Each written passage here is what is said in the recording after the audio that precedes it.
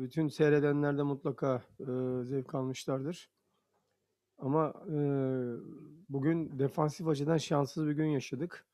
Ama 2-0 yenik duruma düşmemize rağmen hiçbir zaman oyundan yine de kopmadık. Yani gol atmak için uğraştık ve 3. golü de bulduk. 3-3 içeriye, girdik. 3-3 oldu maç. Ama, maalesef son, yediğimiz 2 tane golde bayağı bir şanssızlık yaşadık. Bir tanesinde kalecimizle stoperimiz birbiriyle çarpışınca boş topu bomboş kaleye attılar.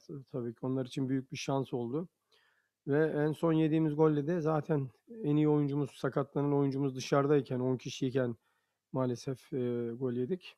Bir şanssızlık yaşadık ama dediğin gibi takım hiçbir zaman oyundan kopmadı.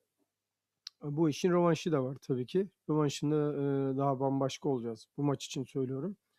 Eee, rövanşında da bambaşka olacağız. Eksik arkadaşlarımız da, eee, gelmiş olacak. Maç oynayıp da eksikliği olan arkadaşlarımız da vardı.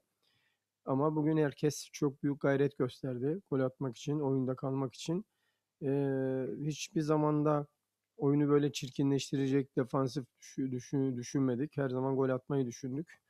O yüzden de takımdan memnunum. Yaptığı mücadeleden memnunum. Eee, ama yediğimiz gollerden tabii ki memnun değilim yani. Yeah, I think, uh, it was a very competitive game, and we gave everything on the field from the start to the end of the game. Yeah, we made some petty, petty mistakes, and because of the quality of Villarreal, they were able to punish us. But to be able to score 3 goals here, it means that we have the potential to to progress in this group and go to the knockout stage.